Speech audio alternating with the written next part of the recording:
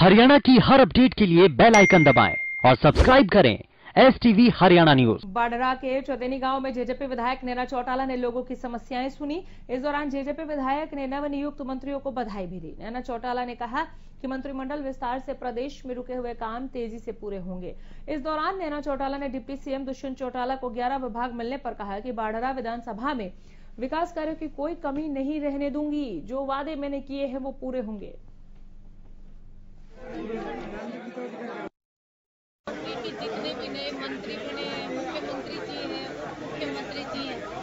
लोगों ने बड़े विश्वास से दोबारा उनको राज सौंपा है तो लोगों की उम्मीदों पर खरा उतरना चाहिए, क्योंकि काम बहुत ज़्यादा है और जो भी हो लोगों के जायज़ काम होने चाहिए हरियाणा